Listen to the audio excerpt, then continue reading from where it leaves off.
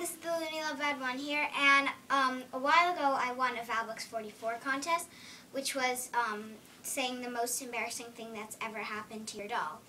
And I went, like, my birthday was on June 26th, and then I went to camp that day, so it came in the mail, like, the next day. And my mom brought it up on visiting day, and I opened it, and I decided to make a video of everything that was in it. I've just been really, really busy lately. I like just got back from camp and I've been doing a lot of stuff. So I haven't had time to make this video.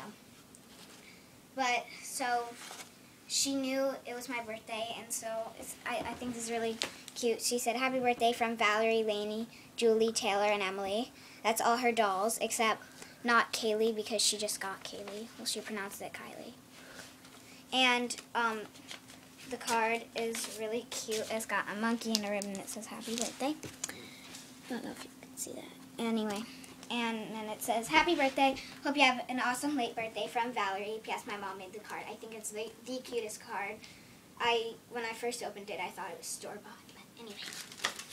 Um, the next thing that was in the package, yeah, it said, please make an opening video of this, but I'd already opened it. So I'm just showing what was in it. Was this poster that says, Special thanks for entering with all her dolls. Sorry, just corners got curled up. And then um, it came with a bunch of stickers. This one says American Girl, follow your inner star. And I think I'm going to put that in my room or in their house. I haven't really decided yet.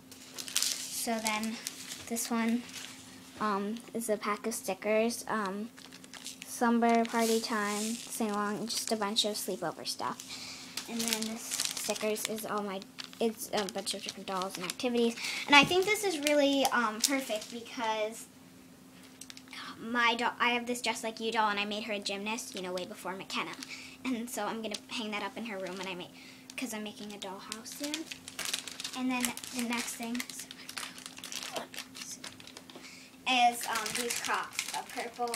They're Springfield and they're the cutest things ever. And I'm just I love these Crocs. So, little Crocs for my dolls.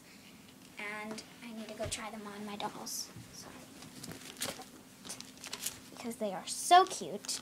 And I'm sorry for this because you guys probably don't care. Um, what I'm saying.